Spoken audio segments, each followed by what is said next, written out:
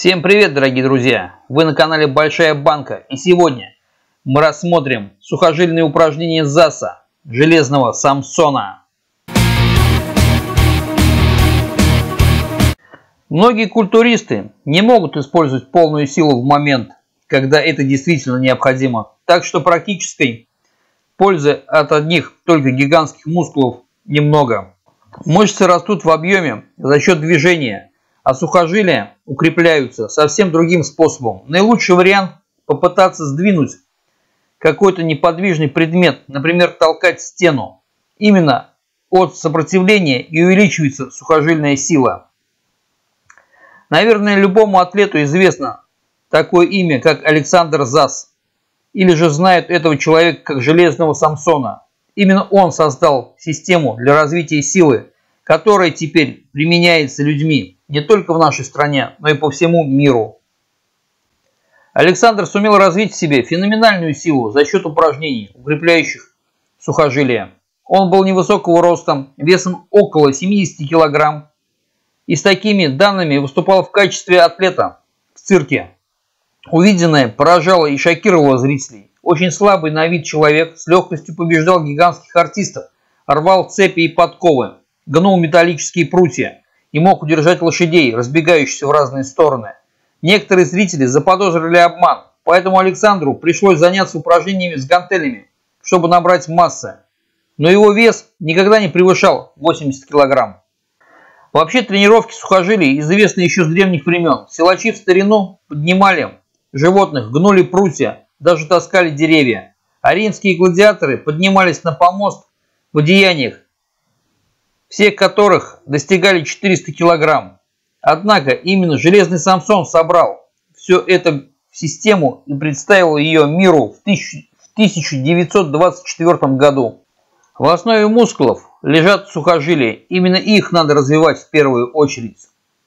В 60-х годах прошлого столетия атлеты из Америки сделали повторное открытие данной методики и назвали это упражнение изометрическими или статическими – с того момента укрепление сухожилий стало обязательной частью многих тренировочных программ.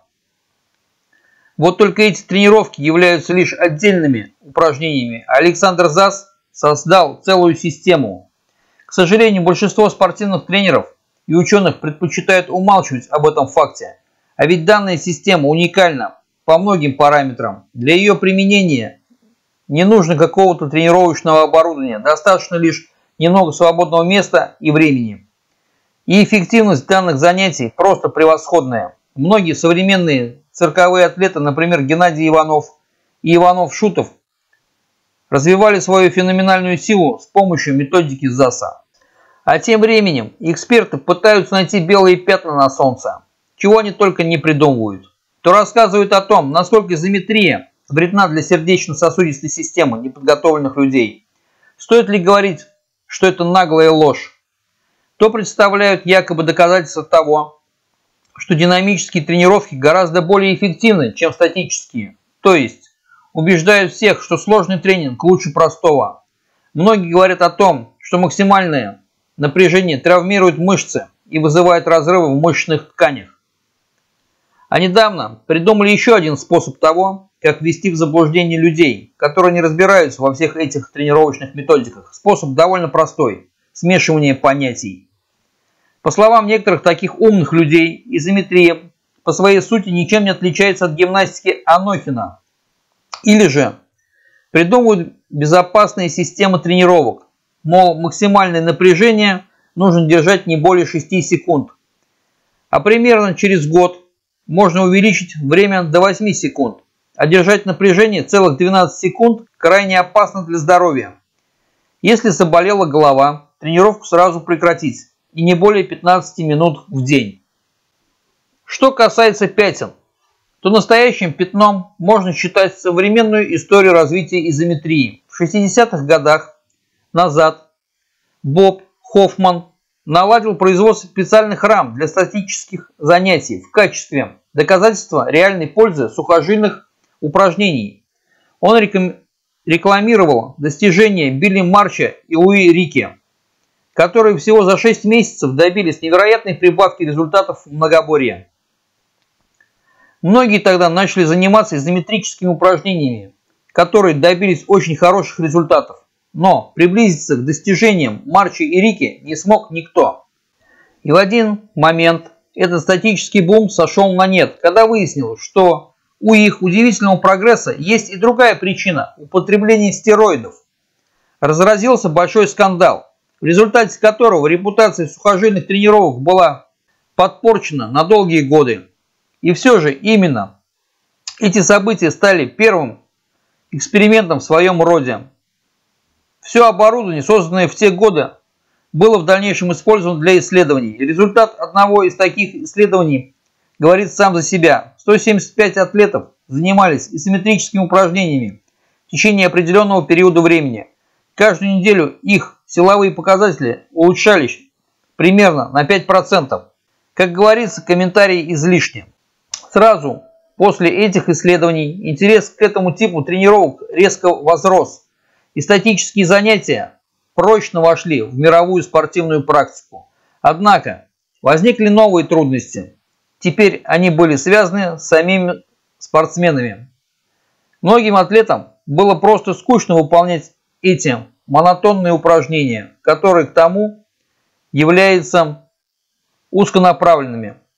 Что уж говорить о простых любителях, которые признавали только динамические тренировки и не считали нужным тратить свое время на эту ерунду. Да и эффективность таких тренировок они почти не верили. Вот таким сложным путем шло развитие того, что когда-то было создано нашим богатырем Засом. А ведь все могло быть намного проще. Можно бы было бы просто переиздать две книги Железного Самсона и на практике показать то, насколько эффективной является именно методика ЗАСа, то есть тренировки железными цепями. А теперь стоит дать некоторые пояснения относительно различных возражений и обсуждений по данной теме. Первое. Основу системы составляли занятия с цепью, однако в нее также входили и динамические упражнения с тяжелыми мешками. В наши дни бодибилдинг медленно, но верно при приближается к этой системе, и спортсмены стараются не только приблизиться к ней, но и усовершенствовать ее. Второе. Развивать силу сухожилий только изометрии неправильно. Их надо прокачивать, напрягать весь объем сустава. Таким образом, сухожилия должны развиваться сразу в нескольких направлениях. От развития сухожильной пружины до распространения плотности силы на весь объем движения. Должны применяться несколько видов тренировок. Упоры, работа с железом, поднимание и опускание с поддерживанием корпусом и так далее. Способов тренировок довольно много. Третье. Существует прямая связь между опасностью натуживаний для здоровья и нарушением режима физиологии и энергии. Главная опасность заключается в неправильном дыхании при выполнении упражнения. Другая опасность – нарушение процесса восстановления. И, наконец, тренировки узкого профиля, которые могут привести перекосом обмена энергии. Эти факторы применимы не только к статическим занятиям, их можно встретить в любом виде деятельности, чаще всего в спорте. Четвертое. Уже говорилось о том, что многие считают изометрию обычной копией гимнастики Анохина. Действительно, некоторые упражнения из этой гимнастики могут стать хорошим дополнением к тренировке сухожилий, но эта гимнастика относится к мышечной тренировке, а не к сухожильной. Пятое. Существует такой вид гимнастики, который можно назвать близким родственником изометрии. Речь идет о гимнастике самосопротивления Владимира Фохтина. Со, статикой эту гимнастику роднит хотя бы то, что ей тоже достается от так называемых экспертов. Ее приравнивают к гимнастике Анохина, делаются попытки внушить обывателям, что вся польза от занятий заключается лишь в тонизировании мышц, и годится она разве что для поддержания формы во время деловых поездок или командировок, а некоторые утверждают, что она не менее опасна, чем изометрия. Следующим признаком родства является направленность тренировок. Помимо мышц и суставов, гимнастика очень эффективно действует и на сухожилия. И опять же, для тренировки требуется всего лишь немного свободного времени и минимум оборудования. Самое главное здесь не стараться делать как можно больше упражнений. Если выполнять по 80 упражнений за один курс, то ничем хорошим это не закончится. Можно считать что Фохтин сделал следующий и очень важный шаг в развитии сухожильных тренировок. Шестое.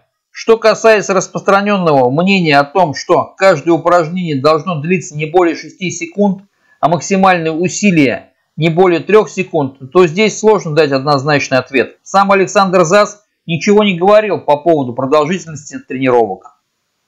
Однако, достоверно известно следующие факты. Первое. Находясь в тюрьме, Железный Самсон выполнял упражнения с 20-секундным напряжением. Можно предположить, что в условиях обычной жизни это время достигало минуты. Второе. В первые 8 секунд происходит сгорание запаса АТФ, затем сгорает гликоген, а после 40, сек 40 секунды начинается сжигаться и жир. Но динамический способ расходования и восстановления энергии совсем другой и может вступать в конфликт с изометрическим способом. Если у вас нет желания что-то кардинально менять, то лучше всего выбрать один тип тренировок. Если выбрана изометрия, то можно определить 4 временных типа напряжения. От 6 до 12 секунд, от 15 до 20 секунд, 1 минута, либо от 3 до 6 минут. Каждый из них нужно сначала разбудить а потом уже развивать. В противном случае единственным результатом занятий станет состояние перетренированности, приводящее к стрессу. Методика работы с железными цепями не забыта и в наши дни. И это неудивительно, ведь она одновременно развивает силу, укрепляет связки и сухожилия, формирует задел для естественного развития. Сколько удовольствий в одном флаконе.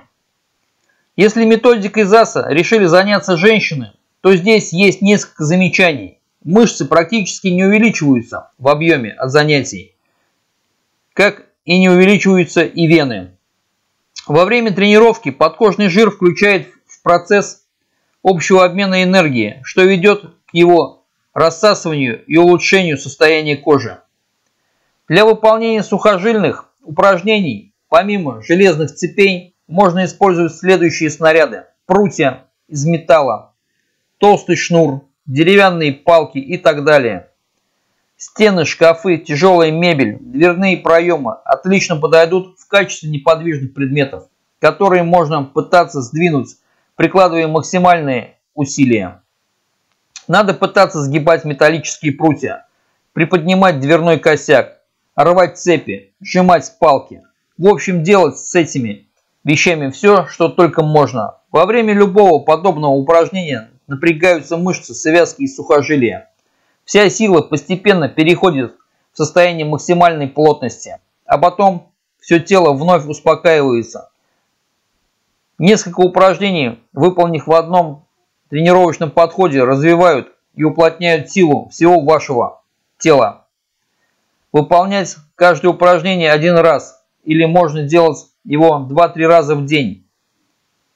Единого мнения по этому поводу нет, но негативных последствий от нескольких повторений одного упражнения не наблюдалось. Если понравилось видео, ставьте лайк, подписывайтесь на наш канал, расскажите своим друзьям. Это тем самым поможет продвижению нашего канала. Мы же с вами не прощаемся. Всем мир, до новых встреч, друзья!